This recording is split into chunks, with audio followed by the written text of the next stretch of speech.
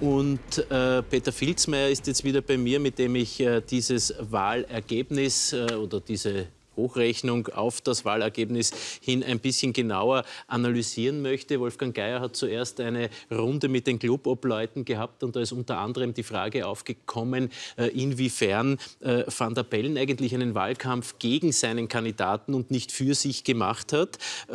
Äh, um, um äh, zu gewinnen. Und da ist ja interessant, wie das bei den Wählerinnen und Wählern angekommen ist. Also sprich, mit welchem Motiv sie den einen oder anderen gewählt haben, nämlich um ihn zu wählen oder um ihn zu verhindern. Sie haben das genauer analysiert. Schauen wir uns da die Zahlen an.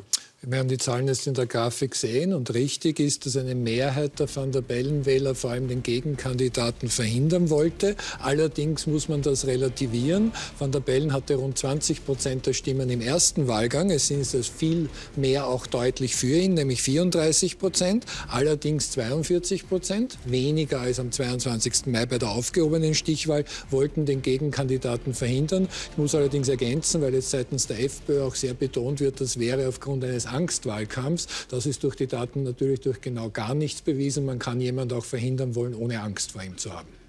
Wie sieht das auf Seite der Hofer-Wähler aus? Äh, auch da gibt es diese beiden Motive und Sie haben sich die genauer angesehen? Norbert Hofer als Vertreter der größeren Partei hat natürlich auch mehr Wähler, die den gewählten Kandidaten Hofer wollten und weniger Wähler, die unter Anführungszeichen nur den anderen verhindern wollten. 51 Prozent wollten seinen Wahlsieg. Das ist aber natürlich auch auf jeden Fall mehr, egal wie genau oder ungenau Umfragen sind, als die FPÖ derzeit erwarten könnte. Also kurz zusammengefasst, äh, das Motiv, den Gegenkandidaten zu verhindern, war bei Alexander van der Bellen größer als bei Norbert Hofer. Dessen Wähler ist es mehr darum gegangen, ihren Kandidaten in die Hofburg zu bringen, äh, was heute nicht gelungen ist weil Sie das Angstmachen gerade angesprochen haben und äh, dabei darauf zurückgegriffen haben, was in der Klubobleute-Runde diskutiert worden ist. Ähm, inwiefern äh, lässt sich das belegen mit, äh, mit äh, Erkenntnissen aus der Befragung äh, der Wählerinnen und Wähler, äh, wenn man sich anschaut, dass Pessimisten oder ängstliche Menschen zum einen oder anderen tendiert haben?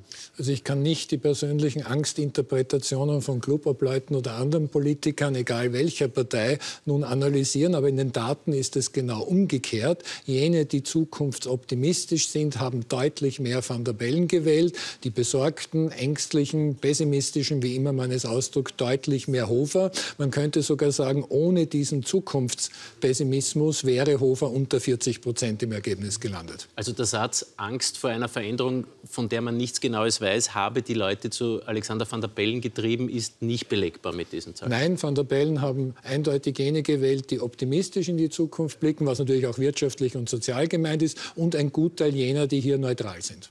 Vielen Dank, Peter Filzmeier, für diese weitere Analyse und den Blick mit der Lupe auf dieses Wahlergebnis vorerst. Eine ganze Reihe von Daten gibt es ja noch, die wir besprechen werden. Marie-Claire.